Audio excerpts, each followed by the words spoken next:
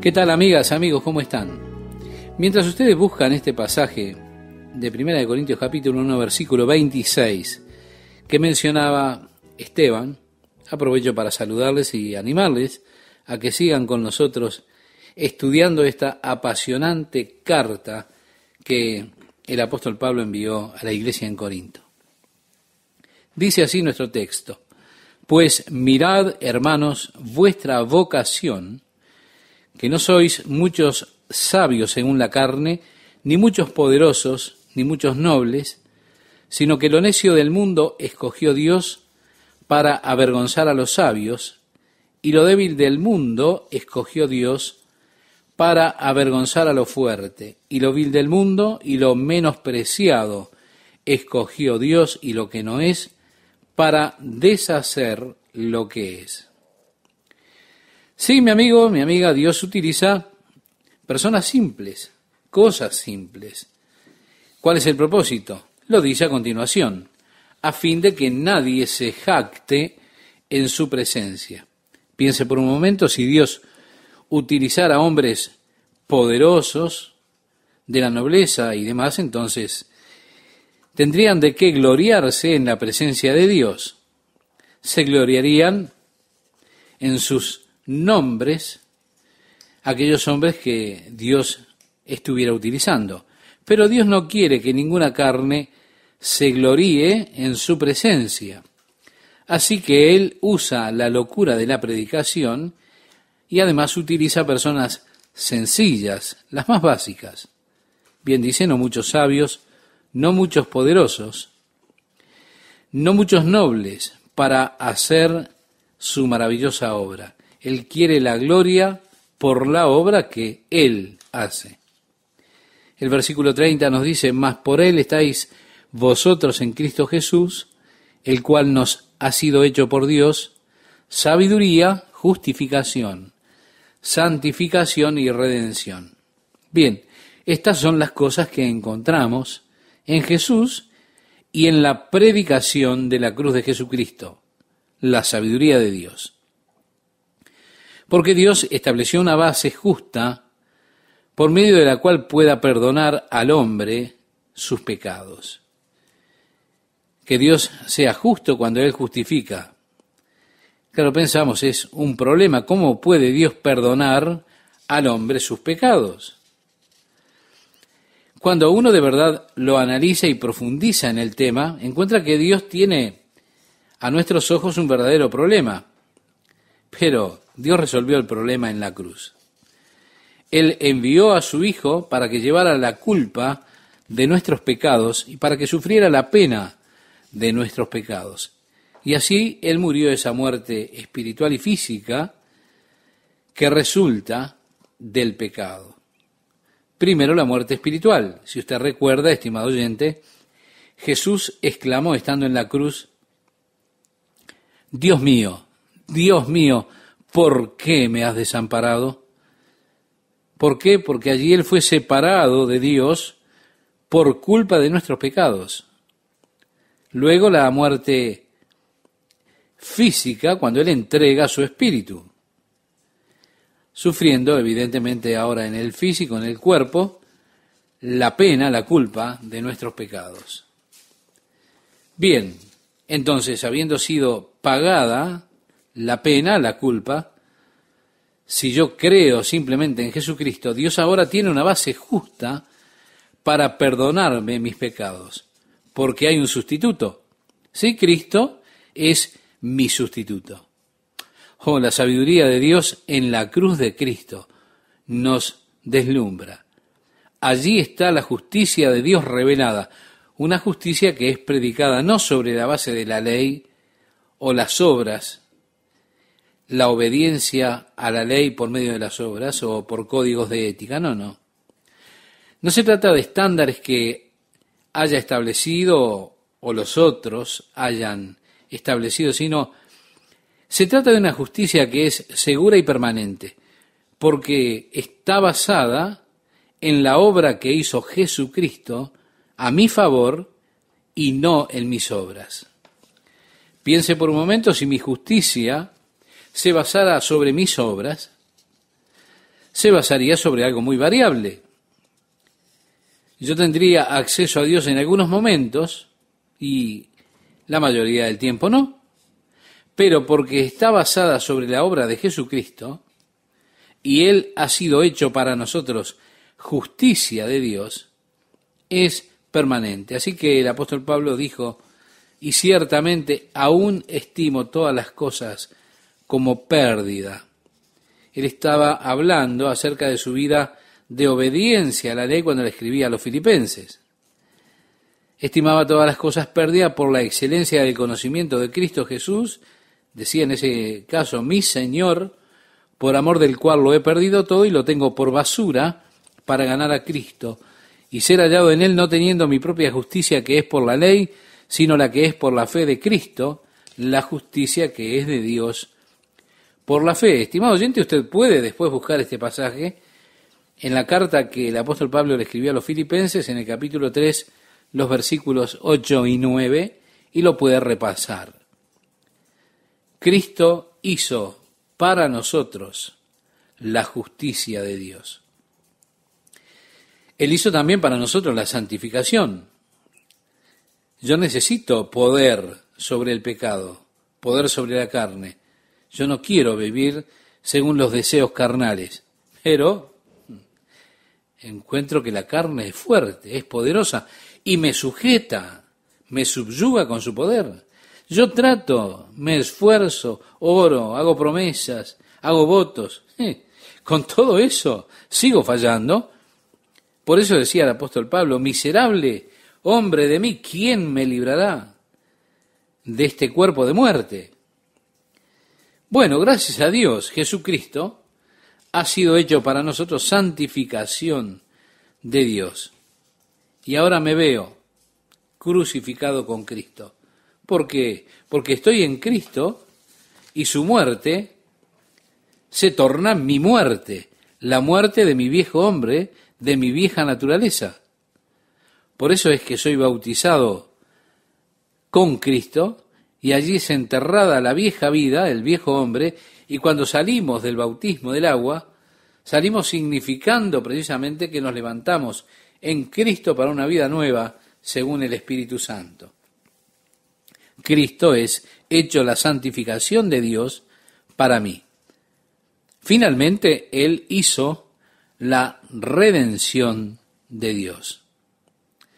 Piense que el hombre perdido es un esclavo del pecado en esa esclavitud de la corrupción. Por medio de la cruz de Jesucristo, yo he sido comprado y pertenezco ahora a un nuevo dueño. Entonces toda mi lealtad es para Él. Dice aquí en este capítulo 1, verso 31 de Corintios, primera carta, para que como está escrito, el que se gloría, gloríese en el Señor. Se da cuenta que ninguna carne se gloría en su presencia. ¿Por qué? Porque solamente me puedo gloriar en la cruz de Jesucristo y su trabajo terminado allí a favor mío.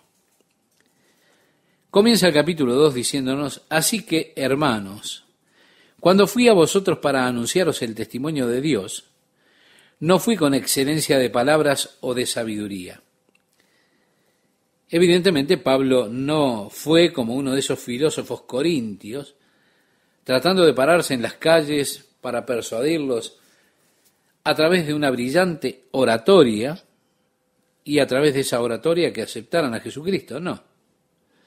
Yo me pregunto, ¿dónde está el lugar de la oratoria en el púlpito? Con frecuencia me pregunto si la oratoria tiene lugar alguno en el púlpito. Bueno, con toda seguridad que en el púlpito de Pablo no. Él dijo, cuando fui a vosotros para anunciaros el testimonio de Dios, no fui con excelencia de palabras o de sabiduría, pues no me propuse saber algo entre vosotros, sino a Jesucristo y a este crucificado. He ahí el lazo común por el cual estamos todos unidos. Ese lazo es Jesucristo. Jesucristo el crucificado. Y mi amigo, eso es todo lo que yo quiero saber. Luego dice, y estuve entre vosotros con debilidad y mucho temor y temblor. El apóstol Pablo había venido de atravesar circunstancias realmente muy difíciles. Cuando él estuvo en Galacia quería ir para Asia, pero el Espíritu se lo prohibió. Pablo estaba muy enfermo como para salir de la cama. Finalmente fue así que él escuchó el llamado, un hombre macedónico, le decía, pasa y ayúdanos.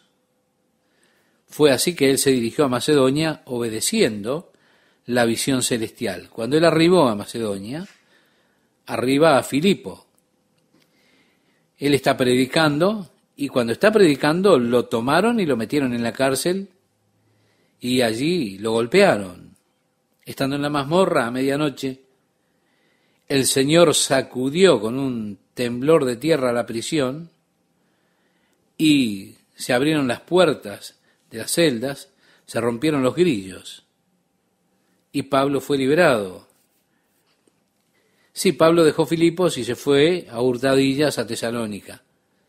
Cuando él estaba predicando, allí se formó una revuelta.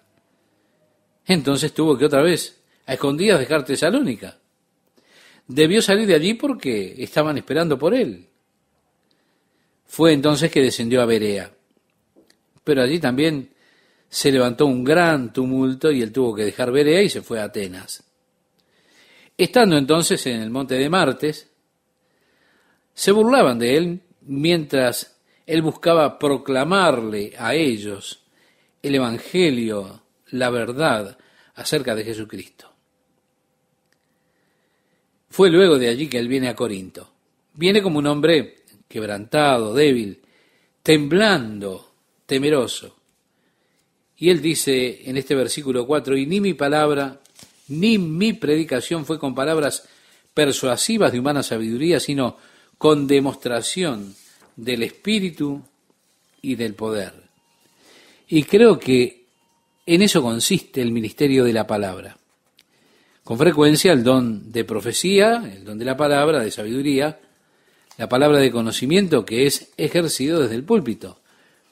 A causa de esto yo escucho con frecuencia mis propias grabaciones y créame, soy beneficiado con ellas, las disfruto. Sé que a usted le sonará raro, pero es así, estimado oyente. Escucho mi programa de radio al otro día y verdaderamente lo disfruto. Digo, un buen mensaje. Hmm. De repente, ¿yo dije eso? Amigo, es grandioso. Es muy rico lo que está allí en ese mensaje. ¿Por qué? Porque fue predicación y la predicación era la demostración del Espíritu y el poder de Dios había unción en esa predicación. Allí estaba la profecía, la palabra de sabiduría, la palabra de conocimiento de lo que está por venir. Así que el ministerio de Pablo a los corintios no consistía en palabras seductoras de sabiduría humana, sino en demostración del espíritu y poder. Dice a partir del versículo 5, para que vuestra fe no esté fundada en la sabiduría de los hombres, sino en el poder de Dios. Sin embargo, hablamos sabiduría entre los que han alcanzado madurez, y sabiduría no de este siglo, ni de los príncipes de este siglo que perecen, mas hablamos sabiduría de Dios en misterio, la sabiduría oculta, la cual Dios predestinó antes de los siglos para nuestra gloria, la que ninguno de los príncipes de este siglo conoció, porque si la hubieran conocido nunca habrían crucificado al Señor de gloria. Sí, esta es la verdadera sabiduría, la sabiduría que es de Dios, la sabiduría por la cual Él habla a los que tienen madurez en su caminar cristiano, en su experiencia cristiana. Agrega antes bien, como está escrito, cosas que ojo no vio, ni oído oyó, ni han subido en corazón de hombre, son las que Dios ha preparado para los que le aman. Probablemente esto es una de las escrituras más mal citadas en toda la Biblia. La gente se detiene allí y dicen, bueno, el cielo ha de ser tan glorioso, cosas que ojo no vio, ni oído yo, ni han subido en corazón de hombre, son las que Dios ha preparado para usted. Ah, Él es tan glorioso. Pero mire lo que dicen los versículos que siguen ahora. Pero Dios nos las reveló a nosotros por el Espíritu, porque el Espíritu todo lo escudriña, aún lo profundo de Dios. ¿Se da cuenta?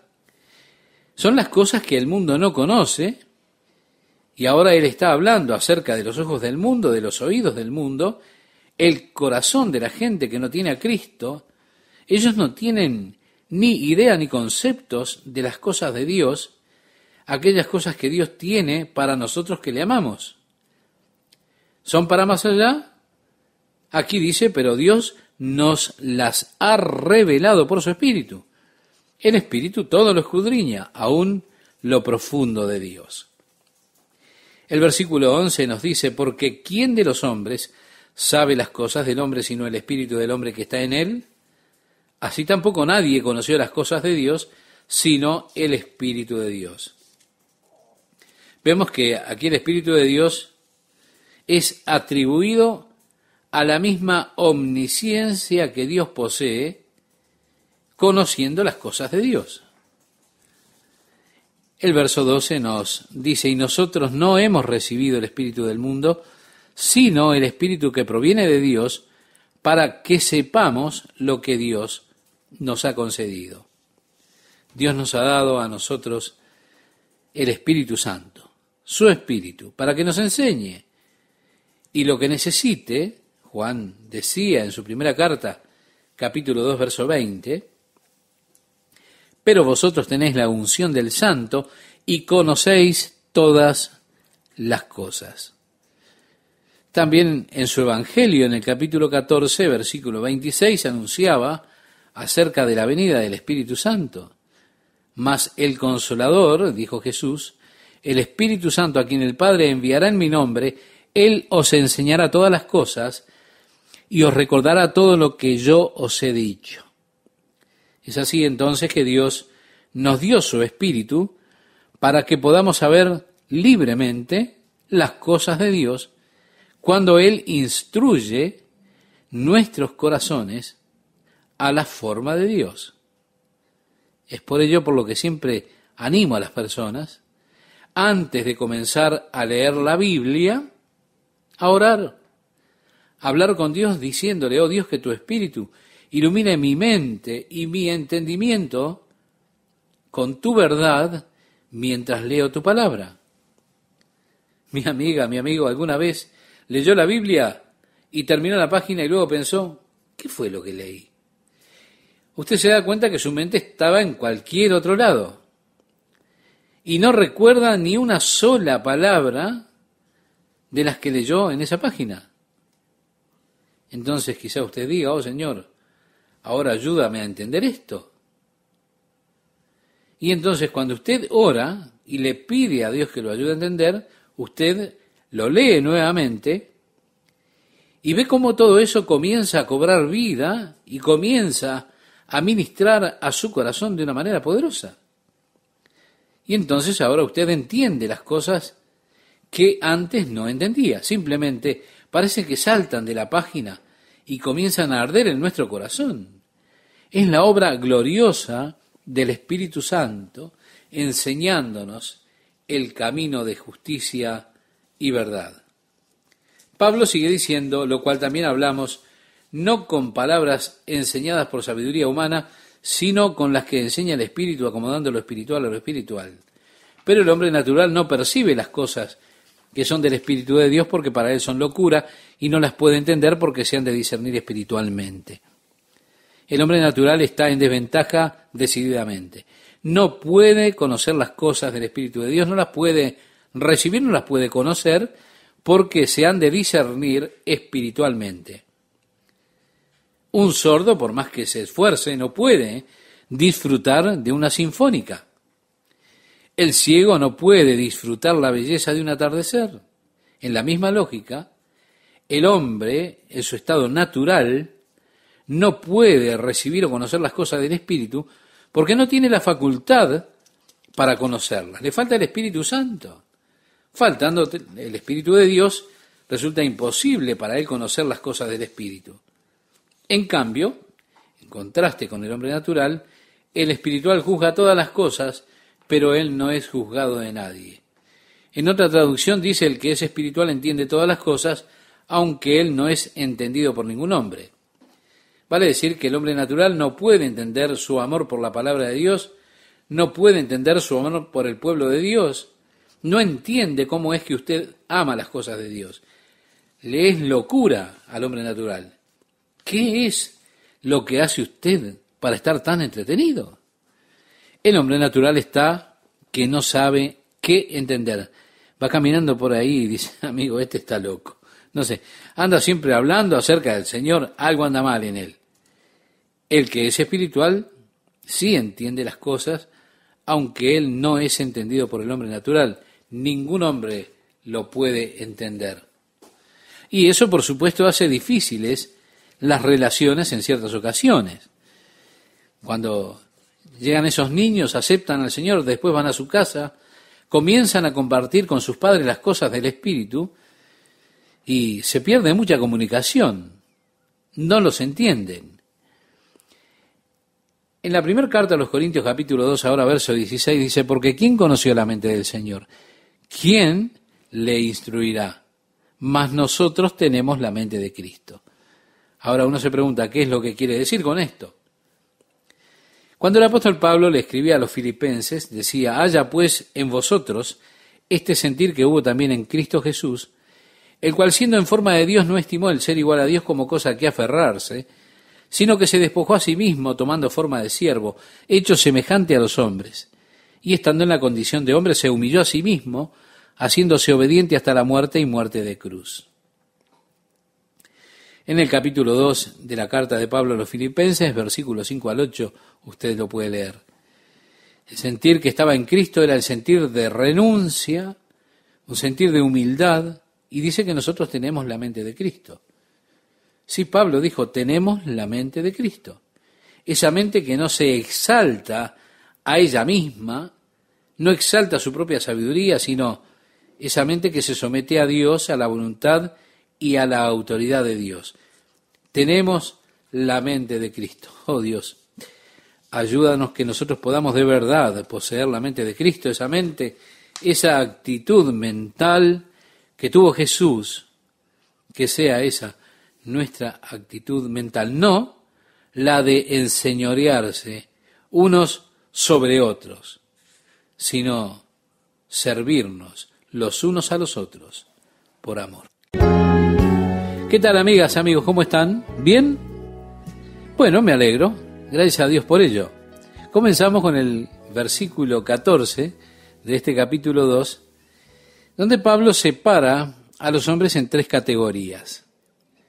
Sí, al comienzo del capítulo 2 trata con el hombre natural, el hombre que no ha sido regenerado por la obra de Dios, el hombre que no conoce a Cristo como su Salvador. Acerca de él dice, él no puede recibir las cosas del Espíritu de Dios porque son locura para él.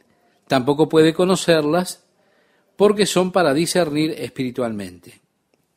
Es decir, el hombre natural está en oscuridad, no es capaz de ver, no es capaz de conocer las cosas de Dios. Al darse cuenta de esto en oración por aquellos que no son salvos, es importante que nos demos cuenta que Satanás, al decir del apóstol Pablo, el Dios de este siglo, el Dios de este mundo, ha cegado sus ojos, los ojos del entendimiento, para que ellos no puedan ver la verdad. Y así es que ellos no pueden percibir, no pueden recibir, no pueden conocer, porque Satanás los tiene ciegos a la verdad de Dios. Pablo le decía a Timoteo, quizá Dios les conceda que se arrepientan para conocer la verdad y escapen del lazo del diablo en que están cautivos a voluntad de Él.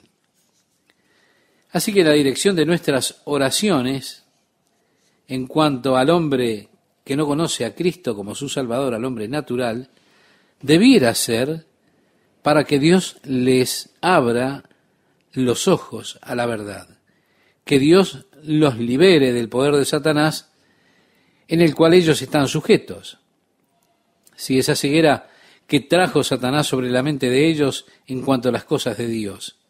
La obra de Satanás para que seas terminada en cuanto a ellos y así ellos puedan ser libres y de esa manera puedan volverse un agente moral libre capaz entonces de elegir y recibir a Jesucristo. Nuestra oración se debe dirigir a eso. Es inapropiado declarar que el hombre natural es un agente moral libre. No, no. Está lejos de eso. Él está amarrado, está preso, ciego por el poder de la oscuridad. Por eso digo, la verdad es que las oraciones debieran ser para liberarlos de ese poder de las tinieblas y que puedan ser agentes morales libres y de esa forma puedan creer. Ahora, en contraste con el hombre natural, usted tiene al hombre espiritual. Y Pablo dice, en cambio el espiritual juzga todas las cosas, pero él no es juzgado de nadie. ¿Por qué? Bueno, aquí dice, porque ¿quién conoció la mente del Señor? ¿Quién le instruirá? Mas nosotros tenemos la mente de Cristo, esta es la razón. Así que el hombre espiritual es aquel cuya mente ahora está controlada por el Espíritu de Dios. El hombre, un ser con tres aspectos, espíritu, alma y cuerpo. Bien, si el cuerpo es lo supremo, entonces la mente será controlada por las necesidades del cuerpo y estará ocupada por las necesidades de su cuerpo. Y usted tiene lo que Pablo en el capítulo 8 que le escribe eh, en la carta a los romanos, habla de la mente, de la carne o la mente carnal, que está en enemistad con Dios y que en esa condición no puede conocer a Dios. Ahora Pablo introduce esa clasificación. Cuando una persona nace de nuevo por el poder del Espíritu de Dios, esa persona se vuelve espíritu, alma y cuerpo, y no cuerpo, alma y espíritu como era en el caso anterior. Y cuando el espíritu es lo que dirige las acciones, usted tiene la mente del Espíritu, la mente está bajo el control del Espíritu, es allí cuando Pablo dice tenemos la mente de Cristo. Llegamos ahora al capítulo 3 y nos encontramos con esta otra sección. De manera que yo, hermanos, no pude hablaros como a espirituales. Él les está hablando a aquellos en la iglesia en Corinto, aquellos en la iglesia que por lo que expresa el apóstol Pablo, habían nacido de nuevo. Pero aunque habían nacido de nuevo, no eran espirituales. Y les dice, no pude hablaros como a espirituales, sino como a carnales, como a niños en Cristo. Aquí está el asunto. Las personas generalmente preguntan, ¿es posible ser un cristiano carnal? Mire, un cristiano carnal es uno que ha recibido a Jesucristo como su Señor y Salvador, pero todavía no tiene la victoria sobre los deseos de la carne y de esa manera todavía camina muchas veces bajo el control de los deseos de la carne. Él cree, ha recibido a Jesús como su Salvador personal, pero, pero todavía no tiene a Jesús como su Señor. La carne, los deseos de la carne son los que lo están gobernando y él necesita libertad de ese poder de la carne que sujeta su vida. Así que Pablo describe esto como las condiciones para aquellos que estaban en Corinto. Él no les podía hablar como a cristianos espirituales. Ellos aún eran carnales y de esa manera los llama niños en Cristo. Sí, mi amiga, mi amigo, es que hay un desarrollo natural crecimiento físico, así como hay y debe existir un desarrollo y crecimiento espiritual. Está el momento cuando uno es niño, y evidentemente si uno es un niño en Cristo, eso es algo hermoso, es glorioso, a mí me encanta ver los niños en Cristo recién nacidos, aquellos que reciben a Cristo como su Salvador. Para mí es hermoso cuando una persona llega a darse cuenta de que Jesús es el Salvador y sus pecados son quitados, son lavados en la sangre de Jesús. y está ese entusiasmo, ese amor, esa emoción que ellos tienen por las cosas del Espíritu. Es algo maravilloso de ver. Ellos se alegran de andar mirando por allí porque las cosas del Señor son tan emocionantes para ellos en ese momento, son niños en Cristo. Pero hay necesidad también de crecer para tener una relación con Cristo completamente madura. Hay muchas marcas de los niños en Cristo. Pablo nos da algunas de esas marcas. Primero, ellos necesitan ser alimentados con leche porque todavía no son capaces de resistir el alimento sólido de la palabra de Dios. Así que su primera relación es extremadamente experimental. De esa forma, cuando ellos se relacionan o relacionan sus experiencias, generalmente las relacionan con los sentimientos que tienen ellos, esa emoción, el gozo, para llegar a esa dimensión espiritual y por primera vez comienzan a discernir realmente o comprender las cosas del espíritu. Pero en la medida que vamos creciendo, que nos vamos desarrollando espiritualmente, el deseo de Dios es que lleguemos a la madurez completa, como le declaraba el apóstol Pablo a los Efesios, que ellos debían convertirse en ese hombre perfecto. La palabra perfecto significa completamente maduro, a la medida de la estatura de la plenitud de Cristo, de la imagen de Cristo. Así que la voluntad de Dios es que crezcamos espiritualmente hasta alcanzar esa imagen de Jesucristo, volviéndonos completamente maduros. Pero mire una cosa, cuando un bebé es un bebé, se supone que sea un bebé. Reitero, es un es algo hermoso de contemplar, es amoroso. Yo no conozco otra cosa que pueda movilizar tanto el corazón de una persona más que ver un bebé. Y las primeras palabras de un bebé son siempre emocionantes. Yo nunca olvidaré, nosotros estábamos en Tucson, allí vivíamos detrás de la iglesia, era un domingo, por la tarde estábamos allí, y Jan estaba en la cuna, de repente ya dijo, pa, pa. Y yo pegué un grito, me di vuelta y dije, ¿qué dijiste? ¿Qué fue eso? Pero por supuesto ya no pudo repetirlo. Ella tenía en su rostro la más hermosa y tierna sonrisa, como si estuviera expresando, lo dije. Y desde ese momento ya comenzó a llamarme papá. Pero mire, ahora si yo voy a su casa y la encuentro recostada en su cama y veo su hermosa sonrisa y me dice papá, mire, ya no me emocionaría tanto ese momento. Me daría mucho dolor, porque mire usted, Naturalmente ella debe haberse desarrollado y madurado. Por supuesto, como ella lo ha hecho. Entonces es emocionante sentarse con ella, compartir con ella, porque además ella tiene una visión tan aguda en tantas cosas. Nuestra comunicación ahora está en un plano mucho más alto, un plano superior, y debe estarlo, porque en el proceso del tiempo tiene que existir esa maduración, ese desarrollo. Cuando las personas nacen nuevamente por el Espíritu de Dios y son niños espirituales, bebés en Cristo, reitero, siempre es hermoso ver eso, esa obra fresca del Espíritu de Dios en sus vidas. Ahora, si pasan 15, 20 años y todavía están en un estado de cuna, ellos no han madurado, no se han desarrollado en su crecimiento espiritual, en su madurez, eso en lugar de darnos alegría nos, nos, produce dolor. Es algo trágico de contemplar. De ahí que es importante que nosotros crezcamos. El apóstol Pablo dice que ellos eran carnales. Y debido a eso, ellos no eran capaces de comer lo sólido de la palabra de Dios.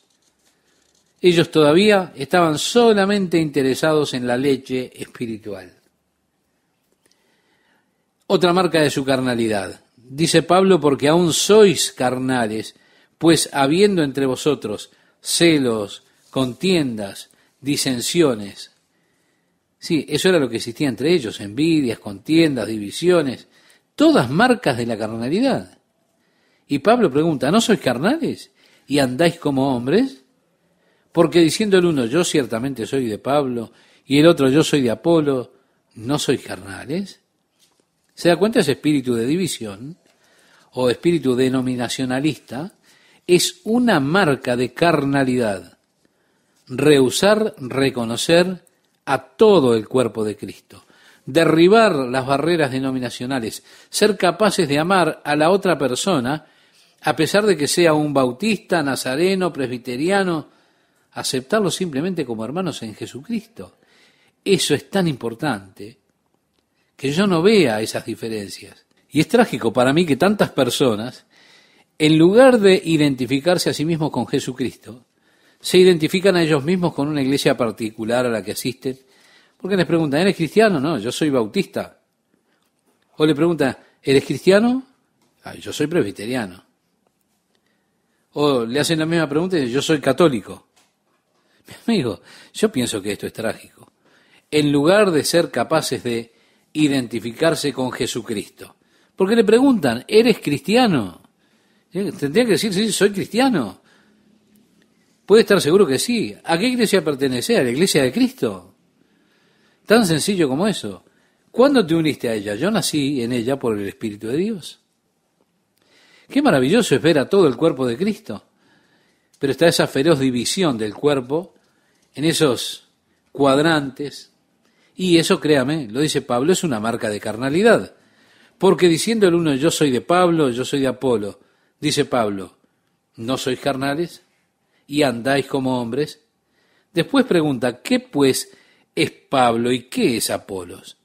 Servidores por medio de los cuales habéis creído, y eso según lo que a cada uno concedió el Señor.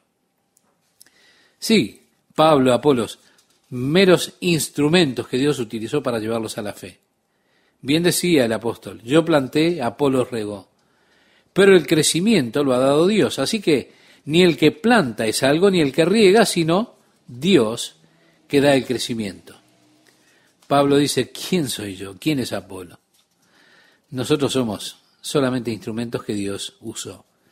Ustedes no deberían identificarse con nosotros. Ustedes deben identificarse con el Señor, porque es Dios el que dio la vida. Todo lo que yo hice, decían otras palabras, fue plantar y Apolos regó la semilla. Todo lo que nosotros somos es simplemente instrumentos que Dios utilizó para traerles a ustedes la salvación. Pero es Dios quien le entregó a usted su vida. De esa manera usted tiene que identificarse con Dios. Luego dice, y el que planta y el que riega son una misma cosa. En otras palabras, les está diciendo, Apolos y yo somos uno. ¿Por qué están intentando dividirnos. Nosotros somos una misma cosa, aunque cada uno recibirá su recompensa conforme a su labor, aclara el apóstol Pablo. Sí, Pablo recibirá su recompensa por plantar, Apolos por regar, y eso es lo hermoso de servir al Señor, que Él nos recompensa por esa obra que nosotros hacemos y no por los resultados de la obra. ¿Entiende? porque los resultados le pertenecen a Dios. Así que yo no estoy comisionado, no me paga una comisión. Yo solo soy asalariado por el Señor para enseñar su palabra. Todo lo que esté fuera de eso es incorrecto. Ahora, todo lo que salga de esa relación mía con el Señor es de Dios y es para su gloria. Yo no puedo producir fruto en su vida, estimado oyente. No, yo no puedo. Lo que puedo hacer yo es enseñarle la palabra de Dios, regar realmente. Tal vez alguien más, otra persona, sea quien plantó la semilla en su corazón.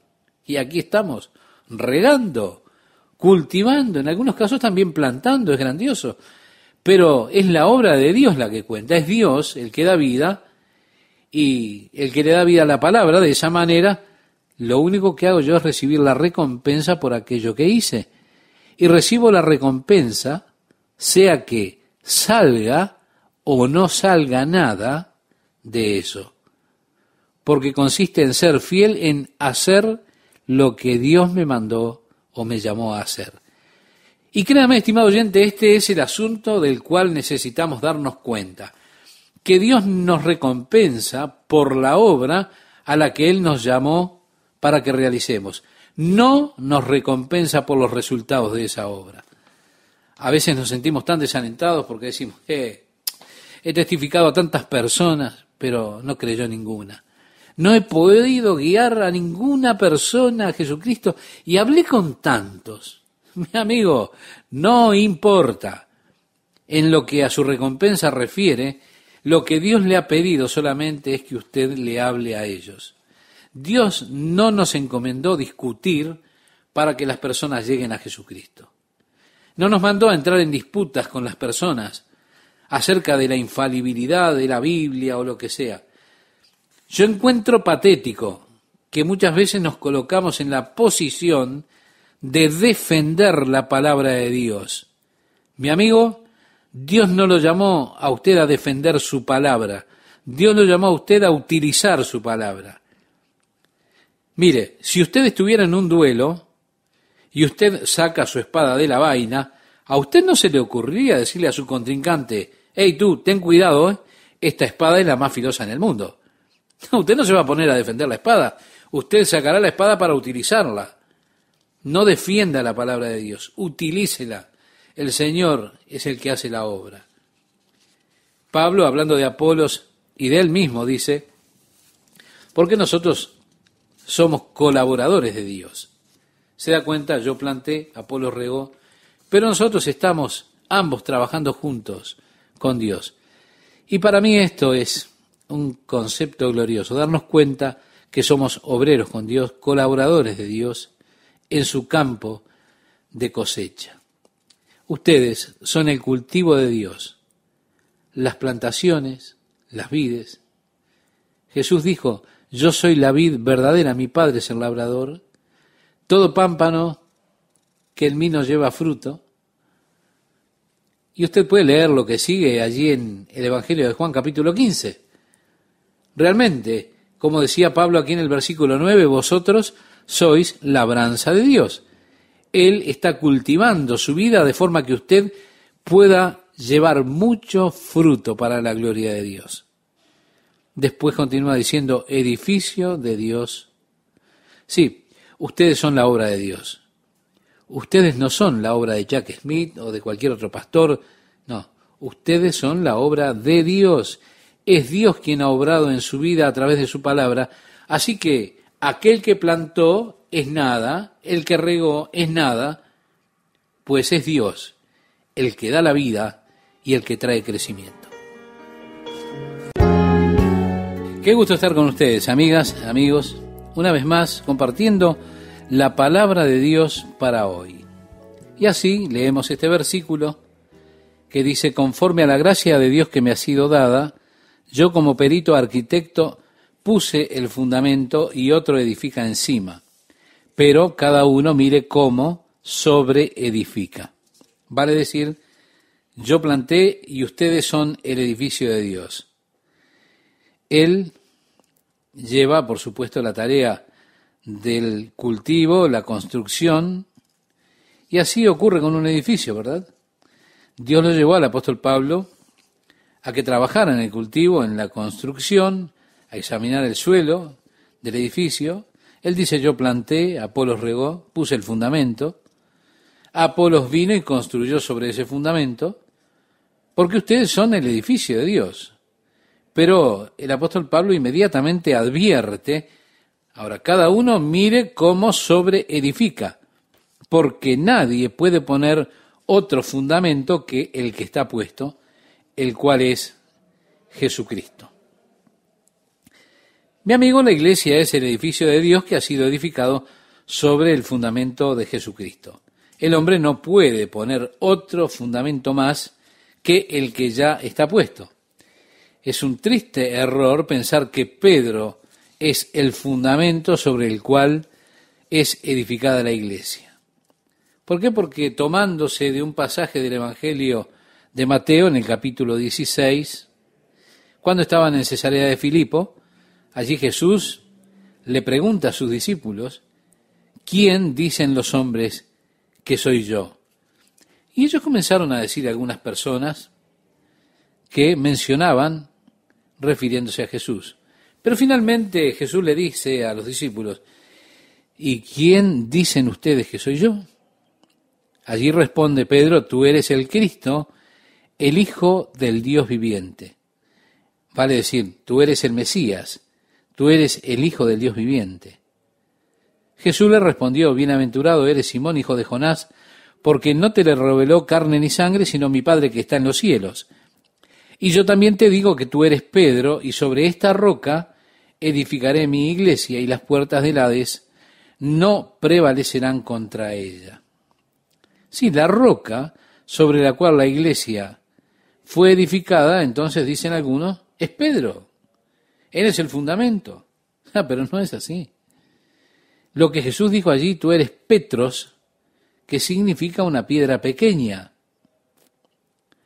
Pero dijo, sobre esta piedra, y cuando menciona esa palabra, allí lo que dice es esta roca, yo construiré mi iglesia. ¿Cuál era la piedra? La roca sobre la cual sería edificada la iglesia. ¿Cuál es? Es la confesión de Pedro acerca de que Jesús es el Mesías, el Hijo del Dios viviente. Ese es el fundamento sobre el cual la iglesia fue edificada, como Pablo lo declara aquí, porque nadie puede poner otro fundamento que el que está puesto, el cual es Jesucristo. Sí, Jesucristo es el fundamento de la iglesia. Él es sobre quien la iglesia está siendo edificada debemos tener cuidado también en cómo nosotros construimos sobre ese fundamento. Porque dice, y si sobre este fundamento alguno edificare oro, plata, piedras preciosas, madera, heno o jarasca, la obra de cada uno será manifiesta porque el día la declarará, pues por el fuego será revelada, y la obra de cada uno cual sea, el fuego la probará. Si permaneciere la obra de alguno que sobreedificó, recibirá recompensa. Si la obra de alguno se quemare, él sufrirá pérdida, si bien él mismo será salvo, aunque así como por fuego. Cristo. Si Cristo es el fundamento sobre el cual la iglesia está siendo edificada. El apóstol Pablo lo reconoce y reconoce que hay algunos que están construyendo con madera, heno y hojarasca y otros que están construyendo con oro, plata y piedras preciosas. Pero mi amigo, mi amiga, llegará un día cuando estas construcciones serán probadas. Y serán probadas por fuego. Cuando llegue el día de la prueba, entonces será manifiesto los materiales que se utilizaron para la construcción. Mire, yo creo que hay muchos de los grandes sistemas religiosos de nuestros días que han construido con madera, heno y hojarasca. Lo creo así. Y creo que estamos viviendo en una época en la cual, de alguna forma, se ha perdido la fe en Dios y en la capacidad de Jesucristo de hacer lo que Él dijo que haría. Porque Él dijo enfáticamente a Pedro, sobre esta roca yo edificaré mi iglesia. De alguna manera se ha llegado a la idea de que Él no puede edificar su iglesia sin nuestra ayuda y sin nuestro genio. Así que bueno, vamos a ayudar al Señor a edificar su iglesia. Y vamos a hacer campañas de recaudación de fondos, desarrollamos tremendos programas a través de los cuales vamos a ayudar al Señor a edificar su iglesia porque con seguridad Él quiere construir su iglesia, pero no puede hacerlo si nosotros no ponemos nuestro talento y nuestra ayuda. Y así entonces salimos a la avenida Madison, estudiamos sus técnicas, estudiamos cómo escribir cartas que sean realmente atrayentes, que alienten a la persona a sentarse inmediatamente para responder a nuestra petición. Y allá va, una carta con una promesa. Yo pondré mi mano sobre un pañuelo y cuando usted lo reciba póngalo sobre su frente y ore y usted me envía 100 dólares y entonces va a obtener cualquier cosa que pida. ¿Se da cuenta? Trucos, trucos y más trucos. Oh, cuánto anhelo el día de la pureza en la iglesia nuevamente. Esa clase de pureza que había cuando llegaron Ananías y Zafiras según relata el libro de los Hechos que ya hemos estudiado en el capítulo 5, ellos llegaron actuando delante de Pedro y de los hermanos allí, pero expiraron, murieron por el poder del Espíritu Santo. Esa clase de pureza que cuando fue establecido el tabernáculo, comenzaron a adorar y dos de los hijos de Aarón vinieron con fuego extraño a ofrecerlo delante del Señor y el fuego del altar los consumió. Y créame, mi amigo, mi amiga, hay mucho fuego falso en nuestros días que se ofrece delante del Señor, que es madera, heno y hojarasca. Pero un día todo será probado por fuego. Y mucho de la obra que se ha hecho en el nombre de Jesucristo será consumida y perecerá. Tenga cuidado cómo usted está construyendo sobre el fundamento que es Jesucristo. Asegúrese de estar utilizando oro, plata y piedras preciosas. Nosotros somos el edificio de Dios. La iglesia es el edificio de Dios. Cristo es el fundamento y tenga cuidado cómo construye, porque llegará el día cuando será probado. Sí, nuestras obras serán probadas para ver de qué clase son esas obras. Recuerde que Jesús dijo en el Sermón del Monte, en el capítulo 6 del libro de Mateo, cuídense de no hacer justicia delante de los hombres para ser vistos por los hombres. En otras palabras, tengan cuidado de no estar haciendo cosas de tal forma que reciban ustedes el reconocimiento y la recompensa de los hombres. Porque Él entonces nos dirá, ustedes ya tienen su recompensa. Así que cuando usted ore, no vaya por ahí haciendo una gran demostración pública de eso. No, no, no. No esté siempre diciéndole a los demás acerca de esto para que los demás sepan cuán entregado a la oración está usted. Jesús dijo, ustedes ya tienen su recompensa. Cuando usted ore, no lo haga, o cuando usted ofrende, no lo haga demostrando públicamente que lo está haciendo para que todos sepan que usted está haciendo una donación porque y porque si usted lo hace ya en eso ya tiene su recompensa. Cuando usted ayuna, no tenga la apariencia de silicio y cenizas un rostro triste para que todos digan, no, qué espiritual que es usted, porque ayuna. No, no, sino que haga esas cosas para su Padre Dios, porque su Padre que ve en secreto, recibirá usted de él la recompensa en público. Su Padre ve en secreto, y aquel que ve en lo secreto, en público lo ha de recompensar. Jesús está diciendo que en el reconocimiento que usted recibe de los hombres, haciendo las cosas de manera pública, allí está, lamentablemente, la única recompensa que usted alguna vez ha de ver, la recompensa que viene de los hombres. Así que, en definitiva, nuestras obras van a ser juzgadas para ver de qué clase son y especialmente los motivos de nuestros corazones, que serán juzgados cuando estemos delante de Dios. Y ahora de tantas cosas hermosas, cosas maravillosas que se hacen, créame, nos sorprenderemos muchísimo cuando nos demos cuenta de las motivaciones que habían atrás. Usted se da cuenta, yo he hecho algunas cosas que realmente fallaron completamente, quiero decir, fueron un total fracaso. Aún así, la motivación de mi corazón era correcta. De eso se trata no es lo que haya hecho, sino cuál fue la motivación para hacer lo que hice. Bien, ahora el apóstol Pablo va desde el edificio a lo individual. Y dice el versículo 16, ¿no sabéis que sois templo de Dios? Hay dos palabras griegas para definir al templo. La palabra hierón, que refiere al templo entero, que incluye los edificios, patios, porches inclusive el monte del templo. Satanás llevó a Jesús al pináculo, al pináculo del templo, el hierón. La palabra griega que se utiliza también para templo es naos. Pero esa palabra refiere al santuario interior, al lugar santo.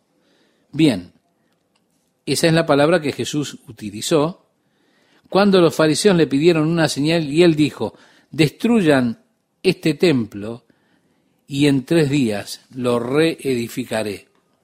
¿Sí? Él dijo, lo reedificaré nuevamente. La palabra que utilizó fue la palabra naos. Estaba hablando del santuario interior, el lugar santo. Bien, Pablo dice, ustedes son el naos de Dios. Son el santuario interior. Allí era el lugar de actividad divina. Allí era donde Dios se revelaba al hombre, donde el hombre entraba en relación con Dios. ¿Por qué? Porque la Shekinah, la gloria de Dios, habitaba en el naos, en el santuario interior. Y Pablo dice, ustedes son el naos de Dios. De consiguiente, su vida se vuelve el centro de la actividad divina. Su vida es el instrumento por medio del cual Dios se revela a sí mismo al hombre de hoy. Su vida es el lugar donde habita Dios, en su cuerpo. ¿No sabéis que sois templos de Dios y que el Espíritu de Dios mora en vosotros? Sí, estimado oyente, cada creyente en Jesucristo tiene el Espíritu de Dios habitando en él. En el momento en que usted le pide a Jesucristo que entre en su vida, el Espíritu de Dios comienza en ese instante a habitar en usted. Y Pablo dice, ¿no sabéis que sois el templo de Dios y que el Espíritu de Dios mora en vosotros?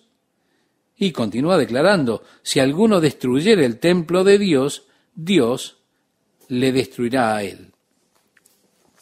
En el capítulo 6, él nos dice algunas de las maneras por las cuales el templo de Dios puede ser destruido. Como él nos dice allí, su cuerpo es el naos de Dios. Ahora, si cometemos fornicación, el apóstol Pablo dice que estamos pecando contra nuestro propio cuerpo.